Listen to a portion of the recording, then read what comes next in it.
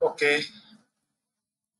अब हमारे जो डॉम मॉडल के अंदर हमारे कुछ इंपॉर्टेंट मेथड्स हैं, है ना? उनको डिस्कस करते हैं।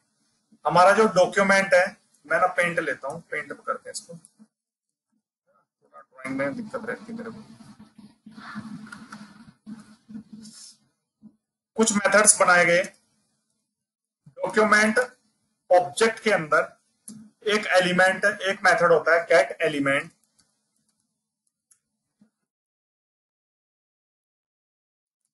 get element by ID ID है ना? एक मेथड ये है। दूसरा है आपका document dot get element get element by class name by class name ये भी एक मेथड अवेलेबल है, ठीक है? डॉक्यूमेंट के अंदर हमारा एक मेथड और मिलेगा आपको। Get element get element by tag name ठीक है? Tag name document document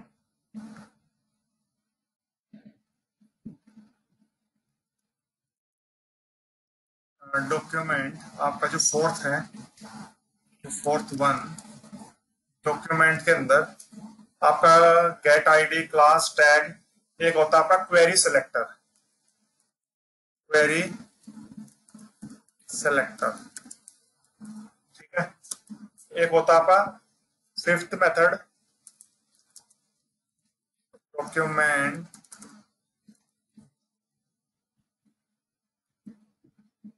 document dot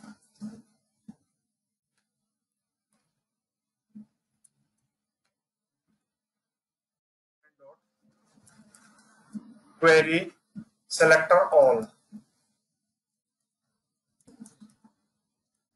ठीक है there are five methods which are used to update the content of a web page किसी भी डॉक्यूमेंट मतलब डॉक्यूमेंट मतलब वेब पेज वेब पेज का अगर आपको कंटेंट आपको अपडेट करना है, कोई टैग चेंज करना है एट्रीब्यूट की वैल्यू चेंज करनी है then we will use these five methods ये पाँच मेथड्स हैं जो आपके डोम मतलब आपका जो वेब पेज है एच का अंदर जो कंटेंट है एच के अंदर कंटेंट मतलब टैग्स हैं टैग्स की वैल्यू एट्रीब्यूट्स की वैल्यू उनको चेंज करने का काम आएगा आपके दीज फाइव मेथड्स टैग्स का भी।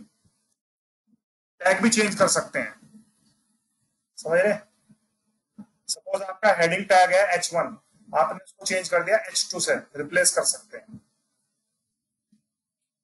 ठीक है? सर एक डाउट ओके तो सबसे पहले हम डिस्कस करते हैं आपका डॉक्यूमेंट डॉट गेट एलिमेंट ठीक है? इसको डिस्कस करते हैं। एक छोटी सी एप्लीकेशन बनाते हैं। अब देखते इसको कैसे मैनिपुलेट करेंगे डॉक्यूमेंट डॉट गेट मैंने यहाँ पर H T M L slash H code copy कर लेता हूँ। इसको सेव कराते हैं डेस्कटॉप पे। JavaScript code J S thirty four dot H T M इस नाम से सेव तो हम एक छोटा सा एग्जांपल लेते हैं। सपोज़ मेरे पास एक पैराग्राफ है पी है ना? This paragraph does not contain any content इसके अंदर कोई भी कंटेंट नहीं है। मतलब पैराग्राफ के अंदर कोई वैल्यू नहीं है। बट मैं चाह रहा हूँ कि मैं इसको, इस पैराग्राफ की एक वैल्यू इस पैराग्राफ के अंदर जो कंटेंट है है ना? जो इस, इसके अंदर जो कंटेंट है, मैं उसको जावा स्क्रिप्ट से साइन करूँ। तो कैसे करेंगे? तो आपको क्या करना पड़ेगा? मैं सबसे पहले मेथड यूज़ कर रहा हूँ आपका। Document dot get element by ID ठीक है? तो मैंने इसको एक आईडी दी सपोज़ मैंने एक आईडी दे दी इसको डेमो एक आईडी दी डेमो ठीक है? एक चीज़ और, अब जो जावा का कोड लिखोगे आप, मैं आपको रिकमेंड करूँगा, इस जावा कोड को एच की कोडिंग के जस्ट नीचे लिखो। जब भी आप डोम इम्प्लीमेंट करोगे डेटा को मैनिपुलेट करोगे तो मैनिपुलेशन में आप क्या करोगे? आपका, या तो बटन की क्लिक पे काम कर दो तो बहुत अच्छा है। बटन की क्लिक पे करेगा तो वो ऑटोमेटिकली कॉल हो जाएगा। बट अगर आपको डोम की हेल्प से है ना, आपका इंजन जो आपका जावास्क्रिप्ट इंजन है, वो इसके अंदर कंटेंट डालना चाह रहा है। जैसे मैं यहाँ लिखना चाह रहा हूँ, इस पैराग्राफ के अंदर दिस इज़ माई पैरा ये लिखना चाह रहा हूँ। ठीक है बट मैं इसको यहाँ पर ऐसे नहीं, मैं इसको जावास्क्रिप्ट से लिखना चाह रहा हूँ। तो आप कैसे लिखेंगे? आपको सिंपली क्या करना है, आपको लिखना है डॉक्यूमेंट डॉक्यूमेंट मैंने इसको एक आईडी दी है। अगर किसी एलिमेंट को एलिमेंट बोल दो या टैग बोल दो, आप पूछ रहे हो others what is the difference between element और टैग आपके जो एच के अंदर एलिमेंट्स और tag both are same thing जो आपकी टैग है this is the H terminology but element is a JavaScript terminology ठीक है? यहाँ पर हर ऑब्जेक्ट को, हर एक आपके वैल्यू को क्या कहा गया? इसके अंदर आपका एलिमेंट बोला गया ठीक है? ठीक है। तो हमने क्या किया? यहाँ पर आईडी दी। तो अगर आप आईडी से, अगर आपने किसी एलिमेंट को, ये पैराग्राफ है, इसको मैंने आईडी दी।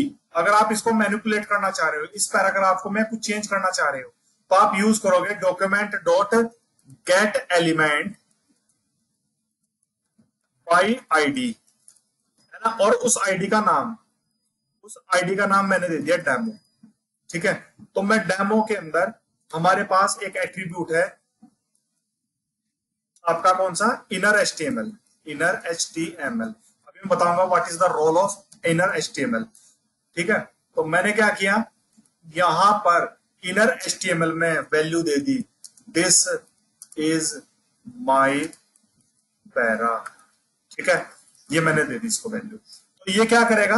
आपका डॉक्यूमेंट के मतलब वेब पेज के अंदर जिसकी आईडी जिस एलिमेंट की आईडी क्या है? डेमो है. उसके अंदर एच का एक एट्रीब्यूट है.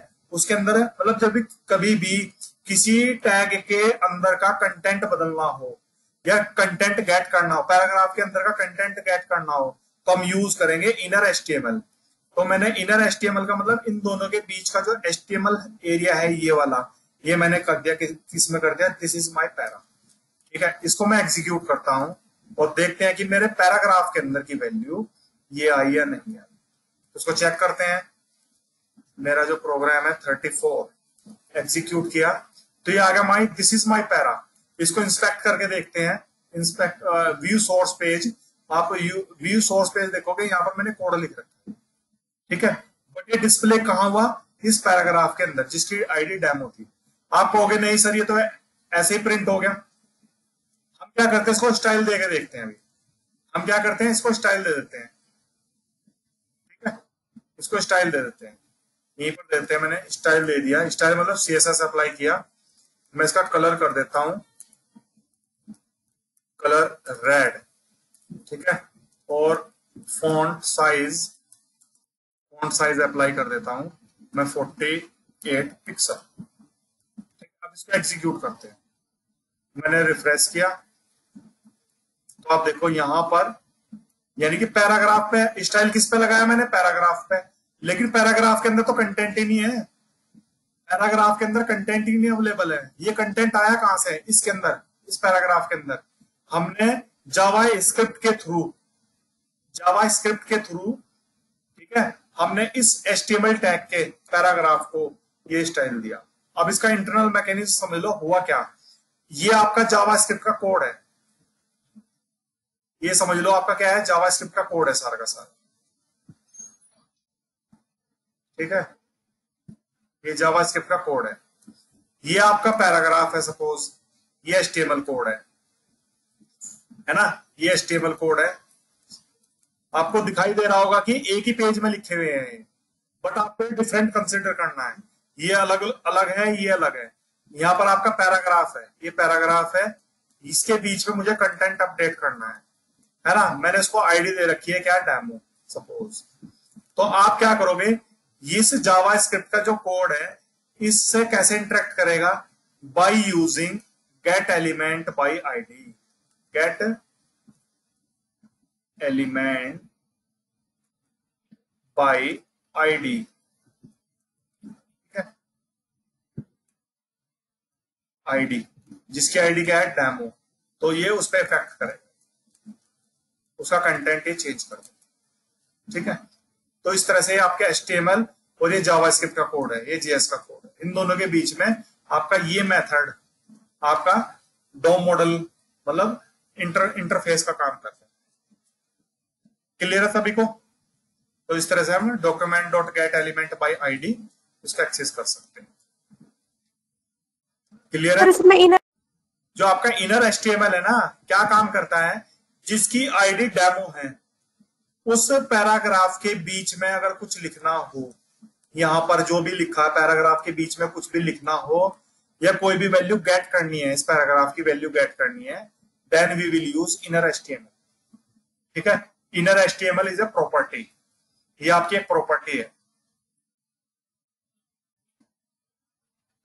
ऑब्जेक्ट के ऑब्जेक्ट हो मैंने बताया था जब हमने ऑब्जेक्ट क्रिएट किया था ऑब्जेक्ट क्लास पढ़ाई गई थी। अगर आपको याद हो ऑब्जेक्ट क्लास के अंदर मैंने की वैल्यू पेड़ लिए थे। आपने को बताया था मैंने प्रॉपर्टी होती है और फ़ंक्शंस होते हैं। प्रॉपर्टी की वैल्यू पेयर होते हैं। ये की वैल्यू पेयर है। है ना? तो इस इनर एस्टिमल की वैल्यू हमने ये दी, ये इसकी वैल्यू है, ये प्रॉपर्टी है। तो प्रॉपर्टी किसकी होती है? प्रॉपर्टी ऑब्जेक्ट के अंदर होती है प्रॉपर्टी जैसे कार ली थी, मैंने कार एक ऑब्जेक्ट लिया था, कार ऑब्जेक्ट के अंदर मैंने कलर रेड कलर क्या है? प्रॉपर्टी वी उसकी वैल्यू क्या हुई? रेड ऐसे मैंने लिया व्हील्स व्हील्स क्या है? प्रॉपर्टी वी किसकी? कार की। तो इसीलिए इनर एस्टिमल भी क्या है? प्रॉपर्टी है। किसकी? डॉक्यूमेंट ऑब्जेक्ट की। क्लियर है? Which is use to change the internal content of pair tag जो आपके टैग्स हैं, उसके अंदर का कंटेंट चेंज करने के लिए और कंटेंट को बैट करने के लिए काम आता है आपका इनर एल क्लियर है सभी को? आज इतने रखते हैं, कल मिलते हैं ठीक है?